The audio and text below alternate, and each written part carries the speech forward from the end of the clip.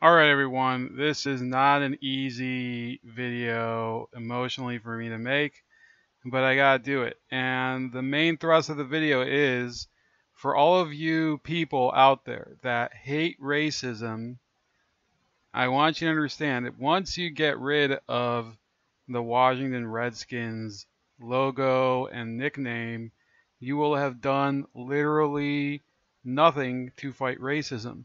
And I say this, this is why it's so difficult. I have hated the Redskins every waking moment of my life since I was seven years old. I despise them. I don't like their stadium. I don't like their players. I don't like their fans. Nothing. Hate them. And the fact of the matter is, I am one of those people who would say that yeah, the logo and all of the symbols would be racist, but that's part of life. And, and the fact of the matter is, I've encountered this issue not just regarding that team, the Washington Redskins, or the team that used to be called the Washington Redskins. I've encountered it because I live I live in Cleveland. We have the Cleveland Indians here.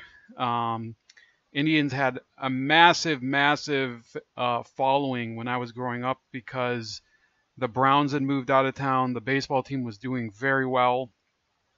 They made it to the World Series two times when I was a kid.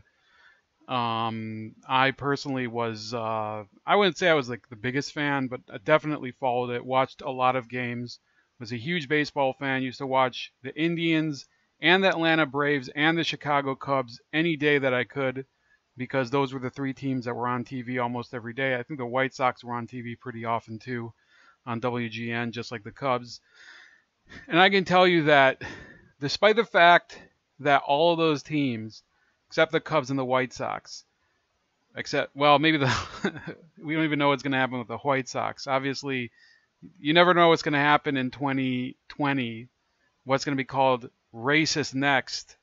But the th- the three teams with Indian logos that I mentioned, the Braves, the Indians, and the Redskins, have been called racist for years, and I would agree that the symbolism, you know, the Chief Wahoo logo and all of that, yeah, I would say yes, it is racist. I would say that it isn't really appropriate to refer to Native Americans like that. And that's why, for a while, I was going to the stadium to on, on opening day to cover initially. I was trying to do a project on it, the opening day protest against Chief Wahoo. And then later I, I, sim- I simply agreed with them. I, I stopped having any I stopped owning any Cleveland Indians gear. I was I was already like you know, I was a Chicago Cubs fan. I still own some Indians gear because I live here. Uh, still watch the games of both teams. And the fact is that when I look back on it, even if the logo was racist, changing the logo doesn't really change anything. The fact of the matter is that the guys who were the main proponents of this campaign were themselves aware, at least the American Indian ones, they were aware that, yes, the logos are racist, but that's not the main issue with American Indians. And this this is Robert Roca, who I spoke to a couple times at those protests, and always a nice person to everyone, even passersby like me. I, I wasn't with the media, I wasn't with any sort of big organization. Would talk to any person who t- who who passed by him, even though he's a very far left radical. Never ever ever had anything unkind to say to anyone unless they were unkind to him. And this is what he had to say think This we're from going to talk 2011. about Chief Wahoo. But let me tell you something. Chief Wahoo is, a, is an important concern of us. But if you had a list with all the different concerns that we have, and you have some of them right now, we passed that out. He's on the bottom of the list. But what it breaks down to is recognizing us as human beings, as people, and not mascots. And we are a race of people, a very proud race of people. And I want to sum it up real fast by telling you we were practicing our religion we had governments, we had, we had apartment complexes while the Europeans were still crouching in their caves. That's how advanced we were. We had civilizations that were extremely advanced. Um, so The uh, I don't know why I said that. I don't know why I got onto that. I forgot where, what direction I was going with that. But uh, oh, just again about the stereotyping and, and to demean us as a uh, as a um, as a character is, is very very offensive. But again, it's on the bottom of the list. The services that we provide, which that doesn't include all of them, by the way, are those services that the Indian Center.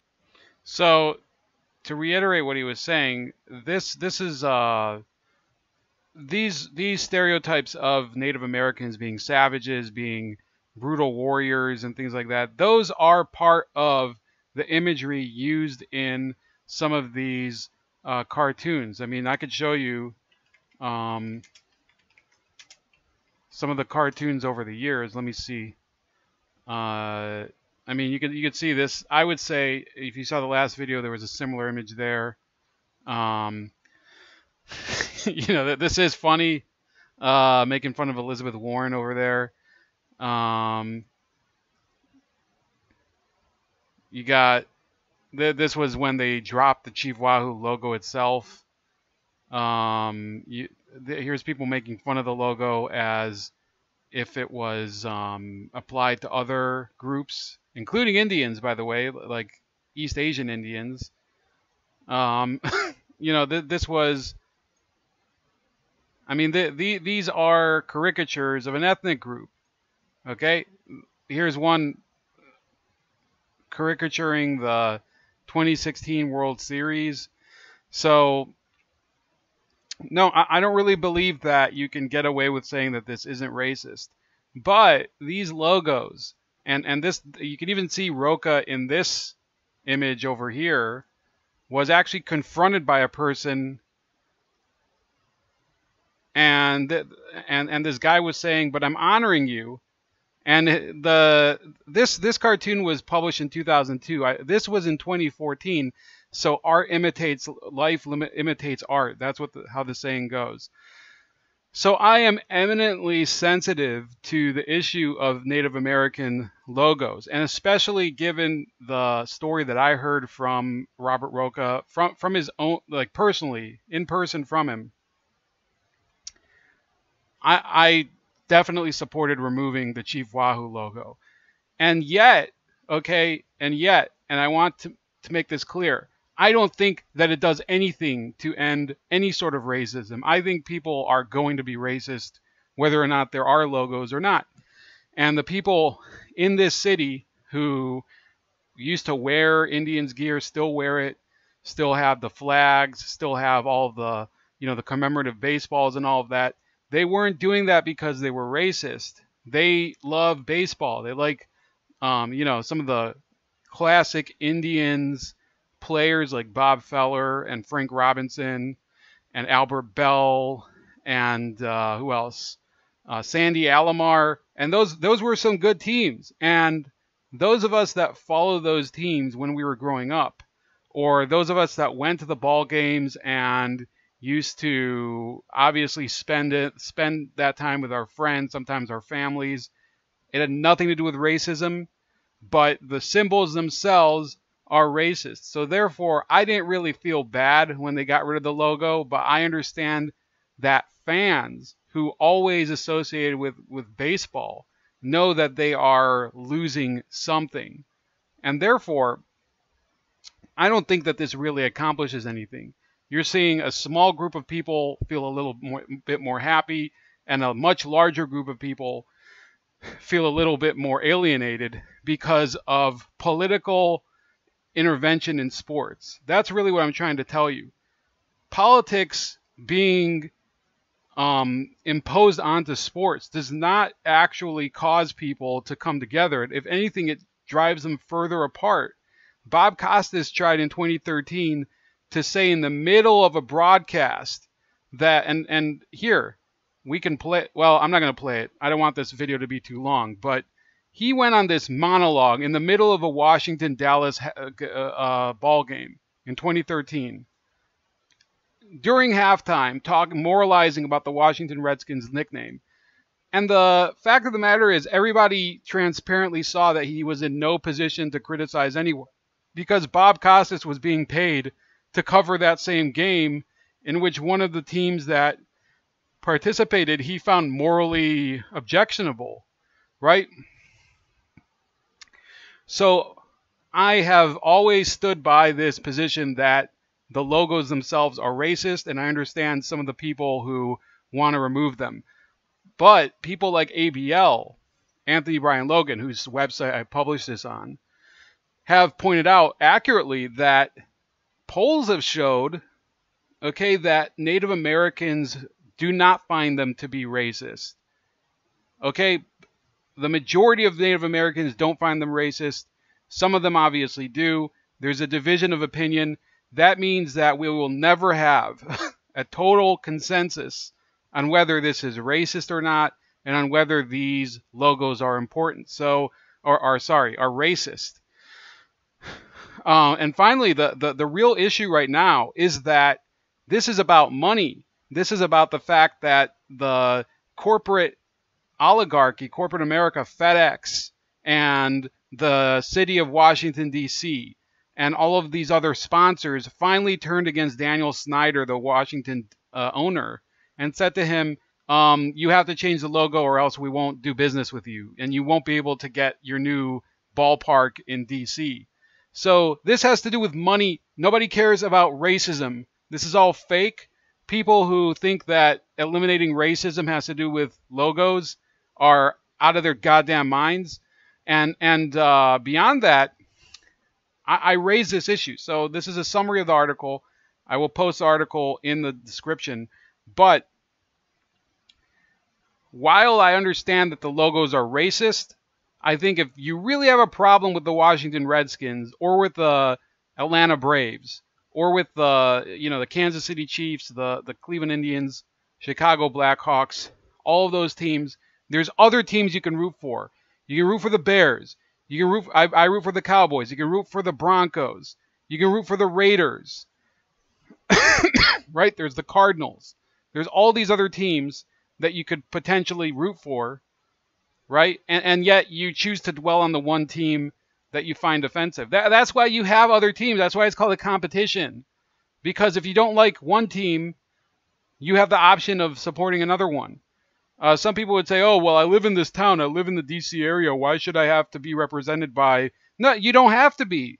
I live in Cleveland. I've never been to uh, Texas or Chicago in my life, and I, I'm a, I've been a fan of both of those teams, right? And part of the reason, to be honest with you, that I'm a fan of the Cubs much more than, than the than the Cleveland Indians is because of the Wahoo logo. I picked a different team and I don't really regret it. And and I'm sorry to say, um, you know, it's it's certainly raised a lot of eyebrows among people that know me, but I think that if people don't like their team having a bad logo, having something that they find objectionable, they should just change which team that they support. And, and uh, the, the main thrust that that should be the the point here, getting to the bottom of this of this issue, why this isn't going to end racism, why this isn't going to do anything for Native Americans, is because nobody is talking about the real problems that Native Americans and Alaska Natives, as they're defined in the census data, are facing, which are horrible life expectancy. You know, there's more homicides. There's five times as many deaths from cirrhosis. There's almost two times as many suicides. There's three times as many that are likely to die from diabetes.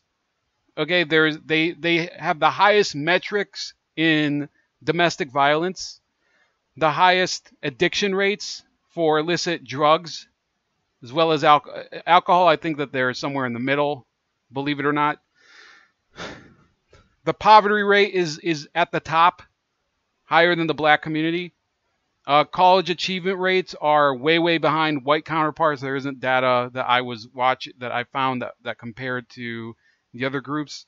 And then homelessness. The only group that has more homelessness than Native Americans are Hawaiians and Pacific Islanders. And, and Rocco was describing for like his own experience to me. This is why it, it, it really, you know, I, I personally thought that it was a very important story to at least explore back at the time. This was when I was in college about seven or eight years ago. Um, he was part of the generation that was in the American Indian, let's see what it was called. the American Indian Relocation Act of 1956. And, and in that bill, Congress and the Eisenhower administration tried to get Native Americans to move to the cities, and it was a big failure. A lot of those people moved to the cities. They had no circle of people to really help them or guide them in their new because they don't have any family there. They don't have any sort of communal setting, and it was it was a huge flop. And and people like him ended up being poor for the rest of their lives. He himself ended up going to prison after I met him a few years later for embezzling funds that were that were federal grant dollars for his organization, the American Indian Movement. But that's besides the point. Okay, we have to start talking about the fact that changing logos is not going to help Native Americans. They suffer from the worst poverty in America, the worst health metrics. Um, there's there's uh, they've already moved on to the Texas Rangers, calling them racist. Why don't you have these billionaire phonies, why don't you tell them to buy shelter for some of these American Indians? Maybe donate for addiction counseling services, things like that. Um, maybe have them look into advisor services for college students from the Native American community. That that's what would actually help. I think Dan Snyder actually tried for a while to do that, and people were making fun of him for it even the, I mean, to be honest with you, fuck Dan Snyder. He, he's the owner of the Redskins, but uh, I mean, you can't you can't complain that he tried to help them, even though he was trying to pander to them to save his logo. Uh, anyway, please like, share, and subscribe. You can also find me on all of the different social media that you can see behind me, uh, especially on LBRY. Find me on LBRY. And I'll talk to you later. Have a great rest of your Wednesday.